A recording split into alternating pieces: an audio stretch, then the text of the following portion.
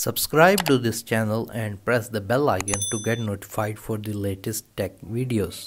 Aslam YouTube मेरा नाम है वासे और आप देख रहे हैं वासे टेक टिप्स आज की इस वीडियो के अंदर मैं बताऊँगा कि आप अपने HBL के डेबिट कार्ड को एक्टिवेट कैसे कर सकते हैं किसी HBL के ATM में जाकर. तो चलिए वीडियो को स्टार्ट करते हैं. इससे पहले कि आप अपने HBL डेबिट कार्ड को ATM में जाके एक्टिवेट कर सकें आपके पास एक पाँच डिजिट की टेम्प्रेरी पिन होती है जो कि आप एच से लेते हैं।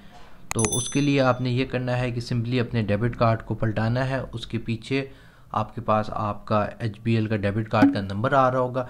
आपने उस डेबिट कार्ड के आखिरी चार नंबर अपने पास लिख लेने हैं। इसके बाद आपने अपने मोबाइल फ़ोन ओपन करना है, जिसमें वो सिम हो जो आपके बैंक अकाउंट के साथ रजिस्टर्ड है।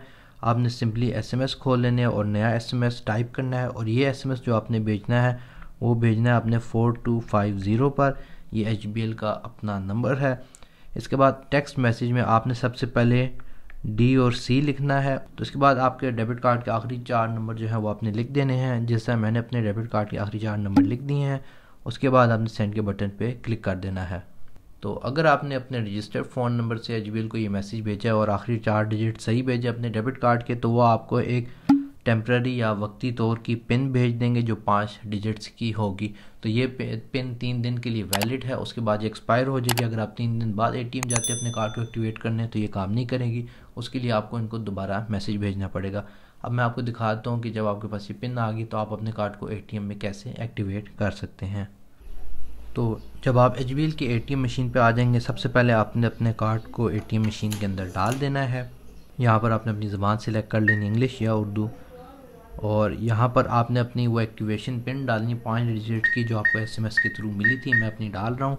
यस के बटन पे दबाएँगे और अगर पिन एक्टिवेट हो गई, यानी कि सही पिन डाली तो आपके पास आ जाएगा। अब आपने यहाँ पर अपना डेट ऑफ़ बर्थ डालना है, जो कि मैं अपनी डाल देता हूँ, यानी पैदाइश की डेट इसके बाद आपने अपना आईडी कार्ड नंबर डाल देना है। इसके बाद आपने अपनी पिन डाल देनी है, जो आप इस डेबिट कार्ड के लिए रखना चाह रहे हैं। पहले एक दफ़ा पिन डालेंगे, दूसरी दफ़ा वो पिन दोबारा डाल देंगे। और अब आप देख सकते हैं लिखा आ रहा है your card has been activated अगर आपको ये वीडियो इन्फॉर्मेटिव लगी हो तो इस वीडियो को लाइक कर दें। अगर आपके पास कोई क्वेश्चन है, नीचे कमेंट सेक्शन में लिख दें और अगर आपने मेरे चैनल को सब्सक्राइब नहीं किया, उसे भी ज़रूर कर दीजिएगा। Other that thank you for watching and as always stay safe